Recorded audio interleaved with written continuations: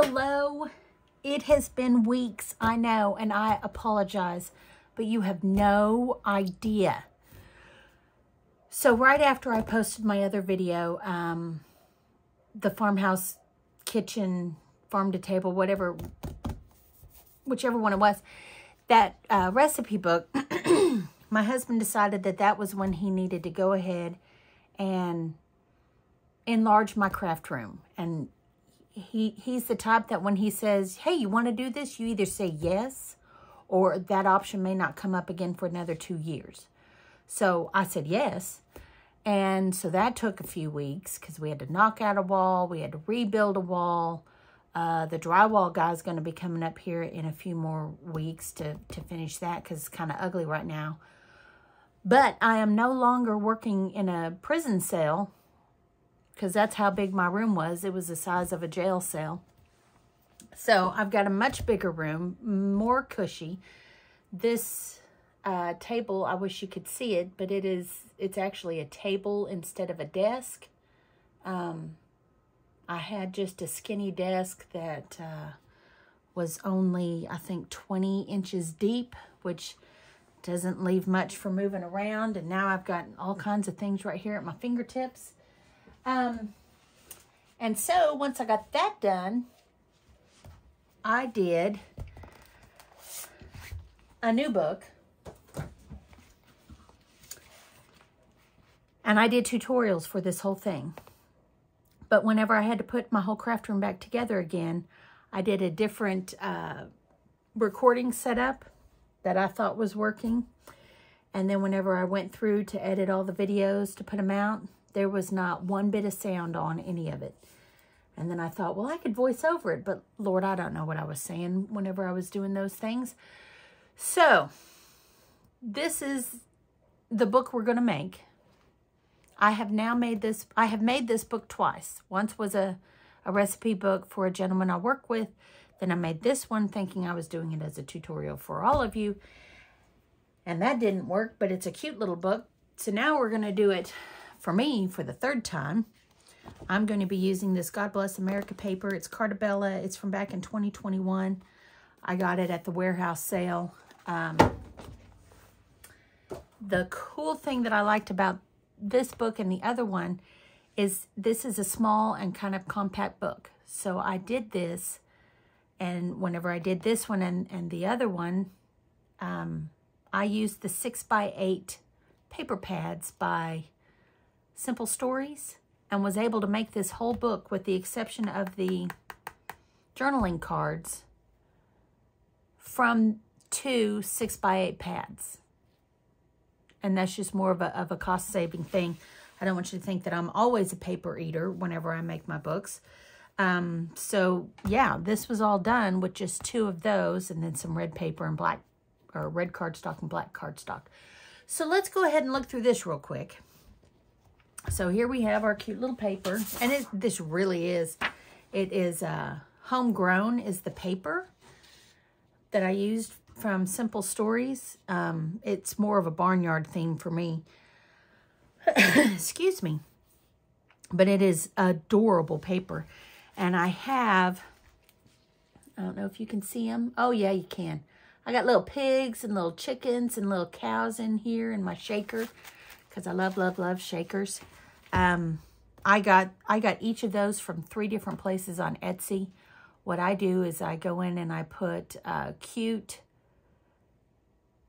clay shaker mix or I'll, I'll find out exactly what it is. I'll even try to find it and I will pin it down in the bottom here. Um, but that's where I've gotten those and oh, they're just adorable. So here we have Farm Life. I did get some of the uh, puffy stickers and here's our spine. This is only a two inch spine. So there's only there's only three pages in here. Of course, six if you count those front and back. Um, but yeah, not it, not every book has to be a three or four inch spine. so, and this is, I can't even remember the size. Hold on.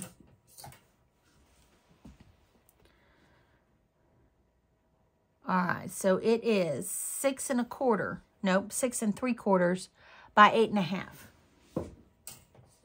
So, not a huge book, but it is, it's just absolutely adorable. So in here we have that braided pocket again. And I, I put all these in here so you could see how much it will hold. And of course, all of these open up. And then, isn't that just cute paper? Uh, so, yeah, this, this will hold. I'm in love with these braided pockets. So, anywho, so that all will go hit there. And over here, we have a, a little acetate cover. This is my chicken page. I'm sorry for the glare. But I got, yeah, little chickens everywhere. Cock-a-doodle-doo. And you can open it, and there we just have a, a pocket. And you know, I don't normally have my pockets facing out, but we have this cute little acetate cover with a magnet here, and that keeps it from falling out the side. So here we have a page that I've done. This was different in the recipe book that I did for the gentleman to what I did here, but the page that I did in the recipe book, I just I thought would work better staying in a recipe book, if that makes clear as mud, right? So these pull out, spin out, and there you have a spot for three pictures. And then it magnets back in and then it spins down. Ta-da!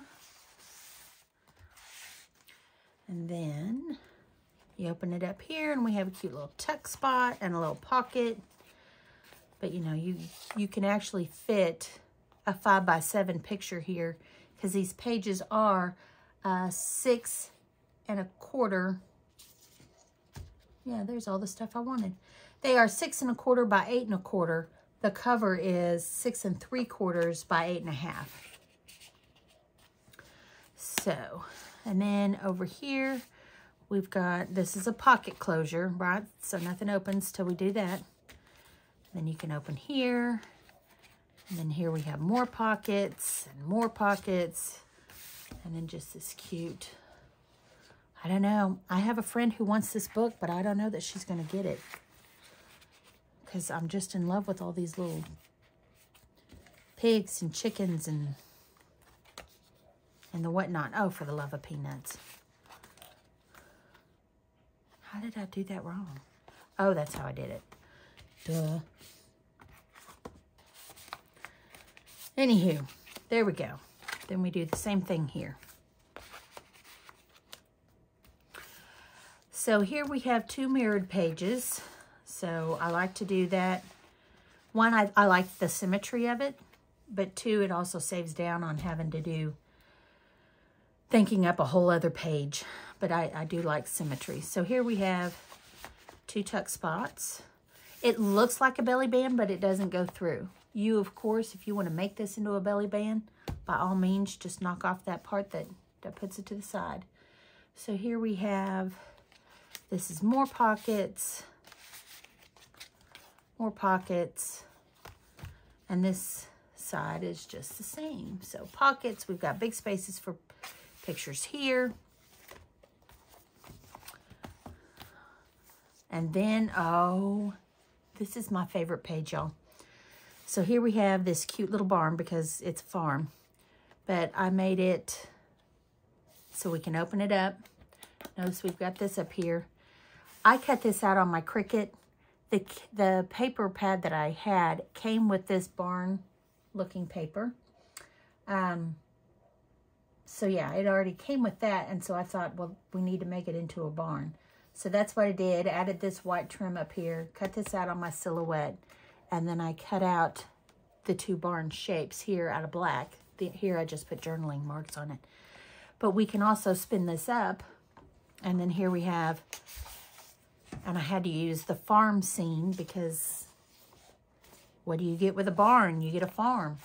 So I put the farm scene paper back there. And just a few more journaling cards.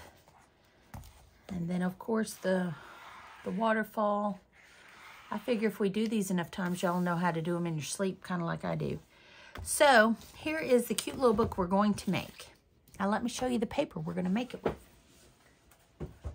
I am all out of my 8x6 pads. Because I don't normally buy them because I don't normally have, they just don't normally work for the big books that I make. So I am going to use, there's two kits of this. I shouldn't need it all, but you know, you never know. So I've got plenty of paper. I haven't made a 4th of July book for me personally in a long time. And the last one I made, I gave to a friend of mine when her son graduated high school and joined the Marines so that she would have a book to put all of her memories of him in. Um, so this is the paper we're going to use. This is what your cutting guide should look like. I have perfected it over two other books, so this one should be good to go. I have tools needed up here. So, of course, paper cutter, scoreboard, card stock, I only use 65 weight. 65 weight. Glue, bone folder, scraper, I don't know what else you call them. My handy dandy is what I call it. Uh, the scrapbook paper of your choice. We're going to need brads. I think we only need, well, we need three. Two for the spin out and then one for the spinning spinning barn, which of course I'm not going to do a barn for this um, I'm still trying to figure out what I'm going to do. I may just do a rectangle and have it spin up. Because, oh, yeah. So see, I have paper.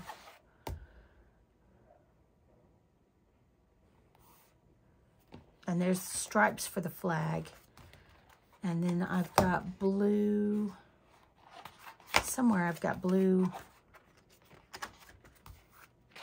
not polka dots. Oh, come on. Well, I thought I did. I thought I had some blue paper with stars. Yeah. Well, anywho, there it is. So I may just make an American flag that's going to go on that. So it may stay a rectangle, which I think will be fitting for this book um, small ribbon for your water, for the for uh, pages and the waterfall. Of course, 10 by 1 magnets, decorative paper. When you get this and you see, where is it, page 1, where it has this little uh, asterisk next to it, that means that needs to be done with decorative paper. That's why up here it has an asterisk next to it. So that way you know, don't be just cutting it out. we'll do that with decorative paper. Um, one thing I did not put on here is you are going to need a one inch, see, I only thought I had it perfected. A one inch circle punch. So we're going to use this on the first signature page that we're going to do um, to cover up our magnet on that acetate page.